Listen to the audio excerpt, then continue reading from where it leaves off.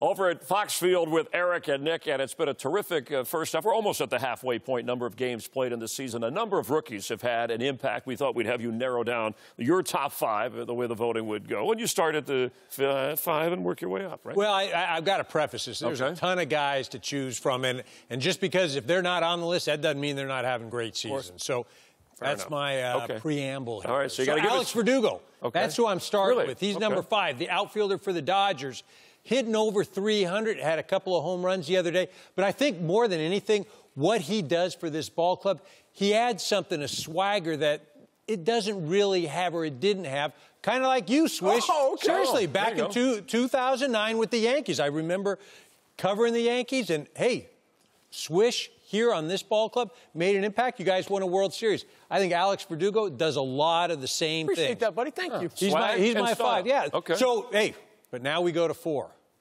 Austin Riley. Stud. Yes.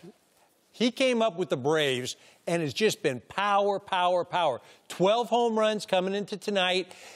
He's playing a position that he didn't play in the minor leagues. He was, he was, a third baseman. And I think once he got in the lineup, Josh Donaldson started to go, the lineup started to go, and they started winning. I don't think it's any coincidence at all. Well, I think, you know, just for him, just to come over to the Atlanta Braves and, like you're saying, play a position that he's not used to playing, I think that just goes to show for him, you have to fight for at bats over there. And for him, the way he pounds the ball from the right side, especially to right center, it's going to help that lineup for a long time. Yeah, and he came up later than some of the other guys right, who started, right. and he's already had that kind of impact.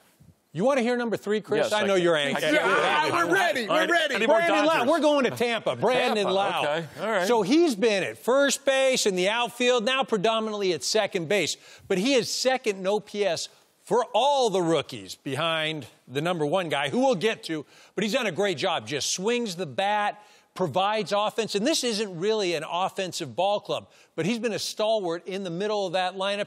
And this is why, again, coming into tonight, if the season were to end right now, they are a playoff team. He's been key. All right, we're going to get a pitcher now. We're going to a okay. pitcher. Pitchers are players, okay? we're going to Atlanta. Mike Soroka.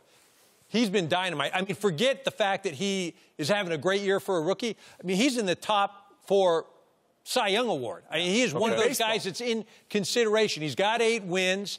He is second in baseball in ERA, behind only Ryu of the Dodgers batting average against just over 200. I mean, there are guys like Gerrit Cole and Sale that, and even Max Scherzer that have higher batting averages against. He has been key for this Atlanta ball club. I mean, really, he is the ace of that staff.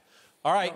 I know you've been waiting. Yes, I want to get number you one. Want, you want to get to number one? So, yeah. We're going to do it. We're going to go right over to New York. We're going to go to the Mets. Peter Alonso. And I just, we just talked about how, you know, Soroka could be in the top for the Cy Young. This guy is in MVP conversation. Wow. 27 home runs. He's already set the Met rookie record. That was held by a pretty good guy. Straw man. Very good. Darryl Strawberry. He's looking at Mark McGwire's record and then Cody Bellinger's. I mean, those are all within his sights. He's been dynamite. I mean, the offense has been great. OPS coming into tonight of over 1,000. The home runs, the RBIs. I mean, we know what's been going on with the Mets this year. It's been everything but good baseball.